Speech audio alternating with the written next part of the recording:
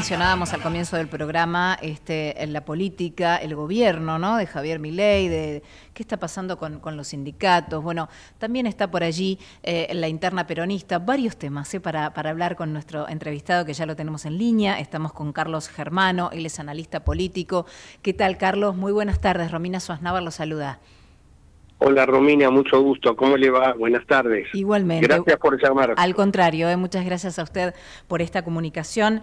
Bueno, eh, Carlos, la verdad eh, me gustaría empezar por esta relación que, está teniendo el expresidente, hablo de Mauricio Macri, con el actual, ¿no? Con Javier Milei en este caso, marcado un poco este, por el pulso político, digamos, por un lado, una afinidad ideológica, ¿no? Pero una sintonía personal y por el otro, por momentos, esta disputa ¿no? que hay entre ellos de, bueno, yo quiero poner a mi gente, el otro este, también le dice, no, pero yo quiero poner otra gente. Bueno, en fin, ¿no? Esta disputa que hay ahí entre ellos dos, eh, ¿cómo, cómo lo, ve usted, Carlos, eh, esta relación que tienen entre ellos dos? A ver, yo, lo que estoy viendo es, eh, si utilizo conceptos ideológicos, diría ya en desuso, más del siglo XX que del XXI, entre izquierdas y derechas, yo diría que el votante histórico de, del PRO, que podríamos ubicarlo en un centro derecha-derecha, hoy ese voto eh, o ese, eh, eh, ese votante está totalmente cooptado por eh, Javier Milei y por su coalición de la Libertad Avanza. Me parece que ocupó ese espacio, o si quiere, el espacio de lo que fue Juntos por el Cambio, mm. eh, donde me parece que ese, ese cambio hoy lo está representando eh, Javier Milei. En, en el cual el PRO hoy es un, diría, un bastión fundamental para Javier Milei y su gobierno. Es un gobierno que es el más débil institucionalmente desde tomando el 1983 hacia adelante, tomando un punto de partida en los últimos 40 años, por, por, la representación que tiene en el Parlamento Nacional, y en el cual eh, el PRO, digamos, jugó muy alineado y le diría con sostén institucional muy fuerte, porque nunca la oposición, y en algunos casos las oposiciones, pudieron lograr los dos tercios. Mm, sí. Eh, hubo dos vetos muy importantes donde eh, el socio central, para poder, digamos, mantener el veto que el presidente de la República estoy hablando de actualización de jubilados y estoy hablando de financiamiento universitario, eh, fue un actor protagónico para poder, digamos, evitar los dos tercios. Con, con todas las consecuencias que en la política argentina tiene los dos tercios en un gobierno de minorías como es el de Javier Milei.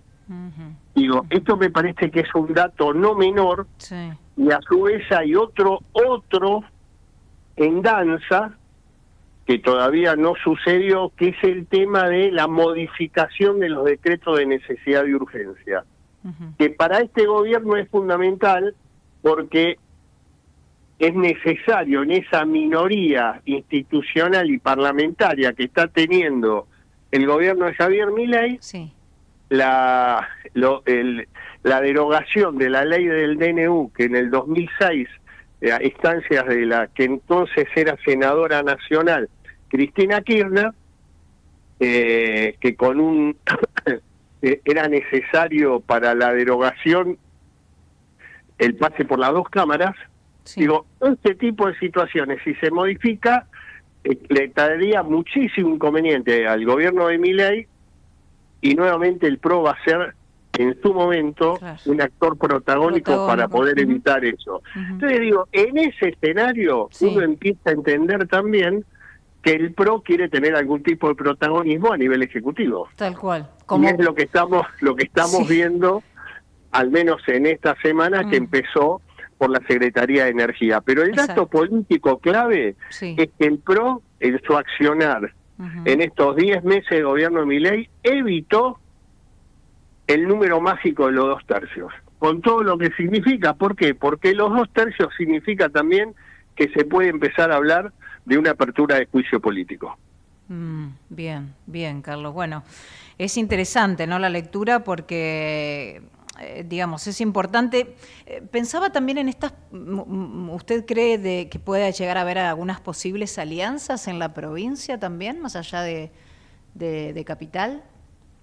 Yo creo que está todo abierto, ah. eh, porque yo diría, lo que fue Juntos por el Cambio, si usted mira hoy en el Parlamento de la provincia de Buenos Aires, hay un hay un, un Juntos por el Cambio, nosotros llamamos Juntos por el Cambio de facto, que es un sector del radicalismo, el ganador en la interna, el que responde al liderazgo de, del senador nacional Maximiliano Abad, un sector del, del PRO, que es, el mayoritario, que responde al liderazgo de eh, Mauricio Macri y la coalición cívica que son creo que 23 diputados, que no son un interbloque, pero actúan como interbloque, por eso hablo de Juntos por el Cambio de Facto, en el cual están trabajando juntos, mm. presentaron un proyecto de ley muy importante que es la boleta única de papel, lo que se aprobó a nivel nacional, eso lo, presentaron un proyecto en la Cámara de Diputados. Claro. Eh,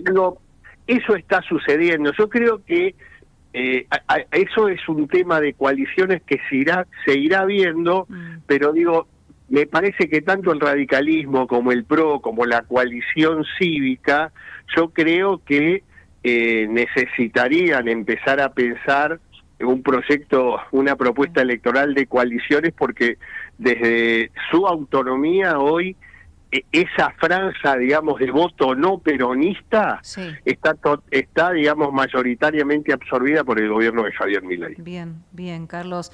Eh, con respecto a, la interna peronista, ¿no? Ayer justo en el Día de la Lealtad veíamos que fueron eh, Cristina Kirchner por un lado haciendo un acto, Kisilov por el otro, bueno, estuvo también Guillermo Moreno, en fin. Eh, pero digo, esta tensión que está viendo, ¿no? Quintela, que también se está presentando ahí para, para ser presidente del partido, este, ¿qué está pasando sobre todo en esta tensión, ¿no? Entre Cristina y, y Kisilov, que de alguna manera antes era como el niño mimado y el elegido, ¿no? Por parte de Cristina, y ahora estamos ahí como como con cierta reyerta, o por lo menos dejan vislumbrar eso, ¿no? Yo, creo que están pasando algunas cosas. Mm. Primero que existió el 2019-2023, sí. en el cual a través de un mail eh, Cristina Kirchner dijo el candidato a presidente del peronismo en ese momento, después fue Unión por la Patria, fue Alberto, Fernández. Eh, y en el cual terminó en un fracaso, creo que en el peor gobierno de, los últimos 40 años en la Argentina, mm. y en el cual, a pesar de que Cristina Kirchner no se hace responsable, digamos, la sociedad percibe claramente que tanto Alberto Fernández como Cristina Kirchner, como la Cámpora, como eh, Sergio Massa tienen una responsabilidad absoluta, ¿no? Claro. Eh, digo, y, me parece también ahí, este es un primer tema, que creo que el tema del dedo, de la forma que se dio, creo que está agotado. Sí.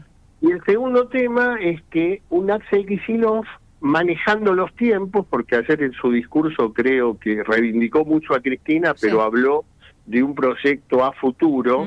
Como presidente, ¿no? Sí. Exactamente, empezó, digamos, a trabajar en un proyecto presidencial desde el kirchnerismo, o sea, superador a Cristina y a Máximo Kirchner. Desde el propio kirchnerismo, esto me parece que es el dato central, desde el propio kirchnerismo está saliendo, digamos, una posibilidad superadora al liderazgo de Cristina Kirchner y, de Máximo Kirchner. Creo que esto está eh, es embrionario, pero fíjese que dirigentes que acompañan a Cristina, a, a Axel Kicillof fueron históricamente soldados y dirigentes muy fuertes del kirchnerismo. Estoy hablando de Andrés Cuervo Larroque, secretario general durante años de la Cámpora, uh Jorge Ferrarés, intendente de, de, Avellaneda, que sí, sí, que le son muy leales, claro, sí, sí. Pero aparte, digamos, fue el soporte económico entre el 15 y el 19 del Instituto Patria. Digo,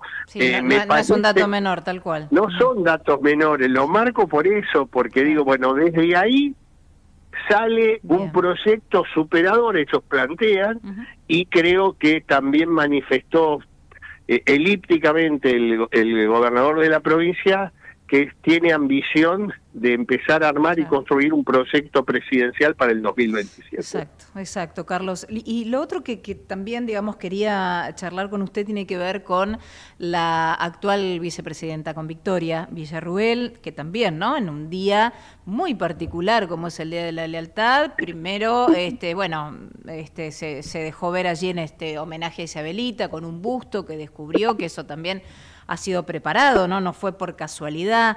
Digo, ¿es, provocativo hacia el peronismo por un lado, pero también hacia, su propio partido, hacia la libertad avanza? ¿Cómo, ¿Cuál es la lectura? Yo creo que cuando una persona con ambiciones políticas, joven, que le interesa la política, eh, es desplazada totalmente, como se la desplazó a Victoria Villarruel, sin ningún tipo de injerencia en la gestión de, gobierno, creo que está en todo su derecho a empezar a armar sus, sus propios caminos, digamos.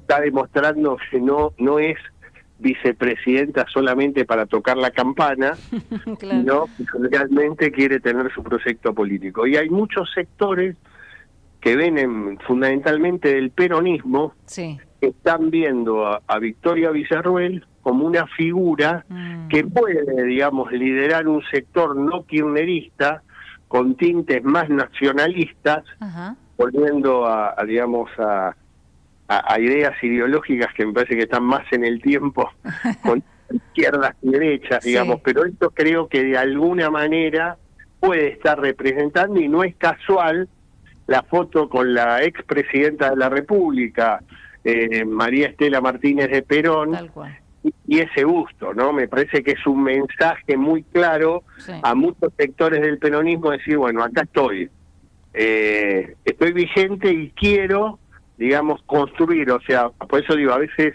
no hace falta utilizar palabras, mm. solamente con gestos y guiños empiezan a dejar claro que la voluntad de política de estar eh, es, está vigente. Exacto, y, el protagonismo. Carlos, ha sido realmente un gusto, ¿eh? un placer muy grande hablar con usted en esta tarde. Gracias. No, muchísimas gracias y muy buen fin de semana. Igualmente, igualmente para usted. Hasta luego. Hablábamos con Carlos Germano, ¿eh? analista político, justamente de esta relación entre Macri y Milei por un lado, entre la interna peronista Cristina, bueno, Kisilov, Quintela por allí, y la vicepresidenta actual, Victoria Villarroel, con esto, este, este homenaje en el Día de la Lactad justamente a Isabel Martínez de Perón.